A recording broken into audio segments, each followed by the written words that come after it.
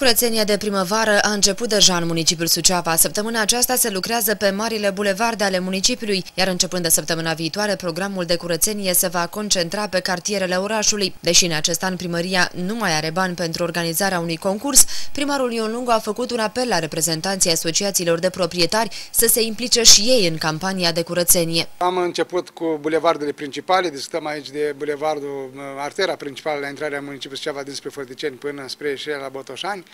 Uh, se lucrează la uh, rigole, la mătratul străzilor, de asemenea la uh, ieșirile din oraș înspre Ipotești, înspre Adâncata, înspre Rădăuț, deci în această săptămână vrem să facem arterele principale.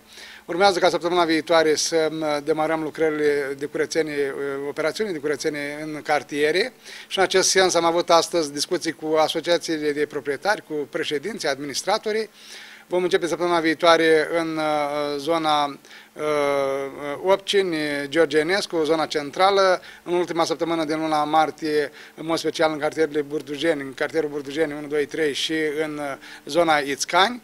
Eh, urmând ca eh, săptămânile după data de 1 eh, aprilie, după începutul lunii aprilie, să ne concentrăm în zona parcurilor, a spațiilor verzi și în mod special și în zona Șipote. Ne dorim să pregătim orașul pentru sărbătorile de Paști. Vom face, așa cum am spus, curățenie pe spațiile verzi, vom mătura, vom grebla, vom vopsi bordurile, vom vopsi grilajele acolo unde este cazul și, sigur, vom planta și arbuști în această perioadă și aici ne referim în mod special braz, sal salcâmi, poate ceva gard viu. Bugetul de, este unul de austeritate și pentru acest tip de plantări în acest an, dar vom încerca să pregătim orașul așa cum se cuvine pentru Marea Sărbătoare a Paștelui.